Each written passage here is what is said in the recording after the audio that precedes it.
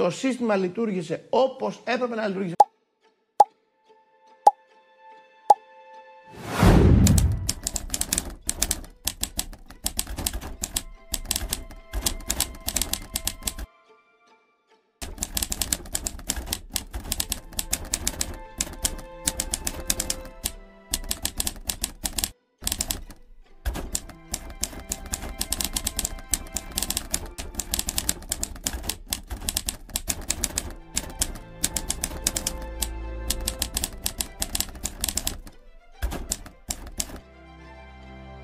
Ο αδερφός είναι ο γιατρός και του ζήτησε να μπει στην πλατφόρμα για να μπει σε κάποια μονάδα εντατικής θεραπείας γιατί δεν θα μπορούσε να, να συνεχίσει να είναι, να είναι καλά. Ελλάδα δεν βάζουμε σε μεθ μη διασωληνωμένους ασθενείς.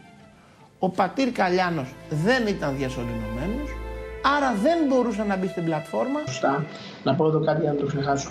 Όταν τελικά μπήκε στην πλατφόρμα ο αείμνηστος πατέρας του Γιάννη και διασωληνώθηκε ο πατέρας του, γιατί χωρίς να είσαι διασωληνωμένος δεν μπορεί να μπεις στην πλατφόρμα. Στενή, δεν χρειάζεται διασωλήνωση. Στον κατάλληλο Αλλά χρόνο. οι μονάδες Λοιπόν, εντα- ε, ελάτε δεν λίγο να, χρειάζεται να, χρόνο. να το δούμε αναλυτικά για να το καταλάβουμε και εμείς οι, οι αδαείς, οι μη γνώστες. Ε, υπάρχει λοιπόν ένας ασθενής.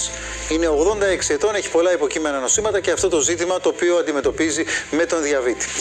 Εάν ήταν στο δικό σας νοσοκομείο και ήταν σε αυτή την κατάσταση, τι θα κάνατε εσείς κύριε Καπραβέλη; Από την πρώτη στιγμή, κύριε Βαγγελάτο, θα πήγαινε σε μονάδα ευξημένης φροντίδας. Σε μαφ. Σε μονάδα, ε, επειδή δεν υπάρχουν αυτές, ε, τις παίρνουμε στις μονάδες εντατικής θεραπείας. Κάνουμε τριπλό έργο εμείς. Άρα λοιπόν εσείς λέτε εγώ όταν θα ερχόταν στο Παπα-Νικολάου θα τον έβαζα στη μονάδα εντατικής θεραπείας χωρίς να τον διασωληνώσω καταλαβαίνω. Έτσι ακριβώς. Ακριβώς κύριε Συγγνώμη όμως Βαγγελάτο. τώρα. Δηλαδή, Ένα λεπτό κύριε θα του Καπραβέλη. ρίχνουμε- Ακούμε Ναι, από ναι. όλους να λένε ότι πια υπάρχει ένα πρωτόκολλο που απαγορεύει να μπει ασθενής σε μονάδα εντατικής θεραπείας χωρίς να είναι διασωληνωμένος. Αυτό δηλαδή εσείς θα το παραβιάζατε ή συνηθίζετε Αυτό, να παραβιάζετε. Κύριε, κύριε Βαγγελάτο, είναι ένα ψέμα.